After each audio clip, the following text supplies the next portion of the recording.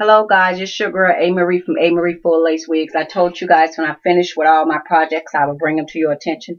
This one is a 427 and actually what happened with this particular unit, I had a customer, she wanted a 427 but with me not knowing how to dye, when I do a 427, I charge a lot more because it's a blending technique. But we, what we wind up doing, we did the 427. She liked it, them Tyra Banks colors, if you guys can see up at the roots. So what I did, I did the unit in a four and then I took it to my girlfriend that does custom colors and she did the 27, you know, she highlighted it and I'm to try to put some parting where she wanted it. Not like an ombre, but um, whatever it is they do. You know, she gave her, she showed me this picture of Tyra Banks that she liked it and um, she went on and, you know, messed around with the color a little bit. See how you go up in there? So it's not necessary like the ombre. I guess she do the foil. I don't know really what she does to it. But um yeah, so this unit is done. And she was like, never again will she do any of the coloring because normally when she deal with her customers, they be there in the chair or in person. And she was explaining to me that everybody 27 is different. Like, uh, one person might get one result from a 27. Another person might get another result from a 27. So every color is different. So she told me never again, don't bring no more colors back to her to be colored, that she's not doing it. So uh, I appreciate the fact that she did this for a customer. And uh, this is on a glueless cap. I'm going to turn it around and show it to you guys. And I, guys, I know I'm looking horrible. Uh, I just wanted to get this video documented and then, you know, get these orders out. This is on a full lace cap. I'm going to show it to you.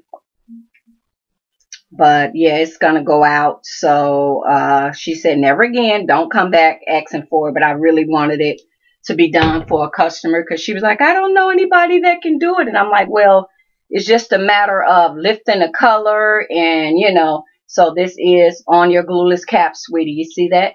It's a glueless cap. Glueless cap.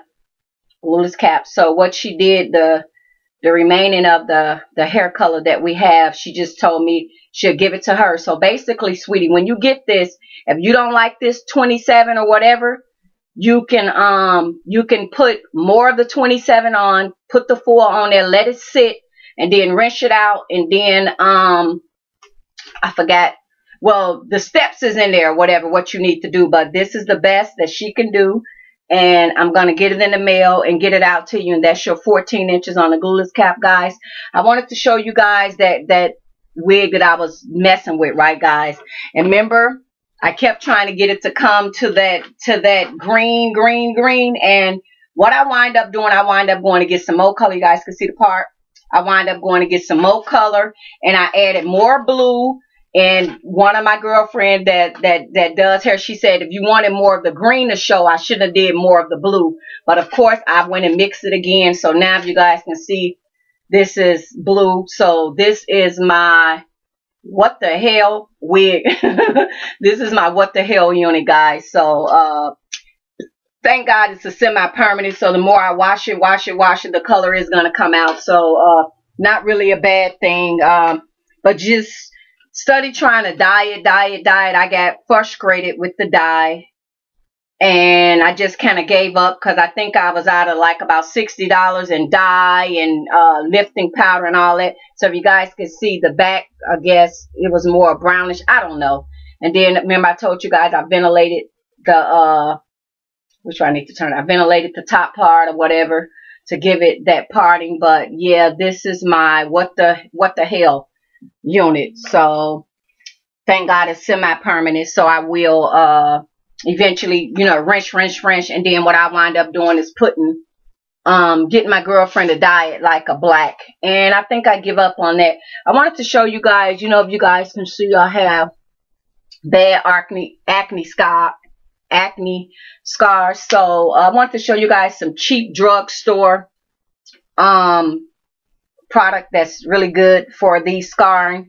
I'm not really going anywhere. This is 3D Face Concealer and it is made by Ruby Kisses and this is a face primer that's made by BB's.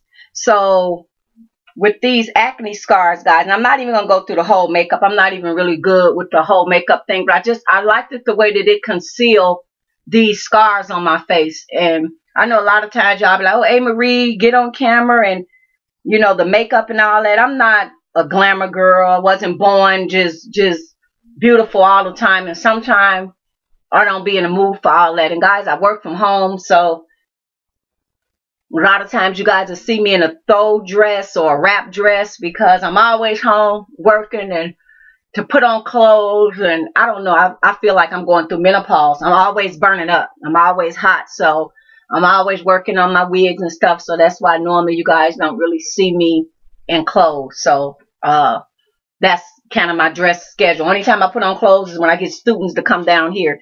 But other than that, I just put on a throw dress. So um what I did, I just put that primer on, but I'm just going to show you how that makeup, this little cheap makeup conceal these scars. So if you're on a budget and want to find something that's really good, and then with me having this bad acne, it does not uh itch my skin or um or have it feeling all crazy or whatever. And I know I'm looking crazy, guys, but sometimes you just want to be natural. I don't, I'm not, you know, a glamour girl all the time. So I just wanted to show you guys that when you put it on, I should have had a mirror. I don't got a mirror. I'm using a computer mirror, but I should have had a mirror where I can literally see to with the mirror. But what I like, you see these dark circles, but what I liked it about it is that you know, normally we spend a lot of this money on this real spendy makeup, and this is just from your local drugstore.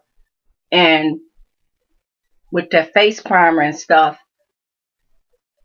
I like to have it conceal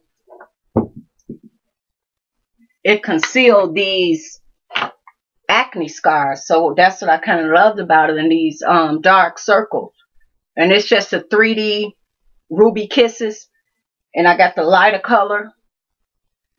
And if I would have got the right mirror, and if I would got some of the oil down off my face, but that's what I tried to do with the primer. But um, if you guys can see, it um concealed that acne uh pretty good. And I'm not gonna go through all the steps of the makeup and put the dry powder on because I actually just had a shower and I'm getting ready for bed. So um, but I just wanted to share some cheap drugstore makeup, guys, that will conceal some of those spots and dark circles and stuff like that. So, yeah, like if I'd have took the time to really, you know, make it up for you guys, but I like the fact how it conceal. And like I said, I'm not even using a mirror. I'm just going from the computer light but I love the way that it concealed those spots.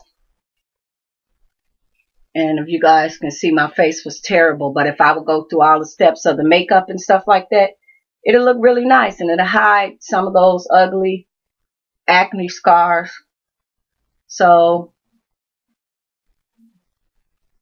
that's what's up, guys. That's what's up.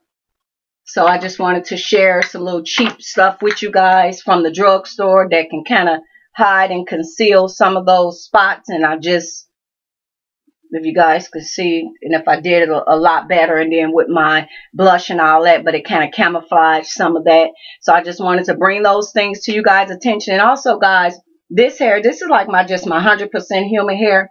And what I like about this hair is that, what I like about what I like about this type of hair is that I like my hair very, very full. But um, this hair does have a fiber in it. And guys, when I wash my hair, I, I wash it and put a cap full of uh, fabric softener in it because the 100% human hair does have a filler in it. And I don't know, I like heavier hair because I like for my hair to have the weight or whatever.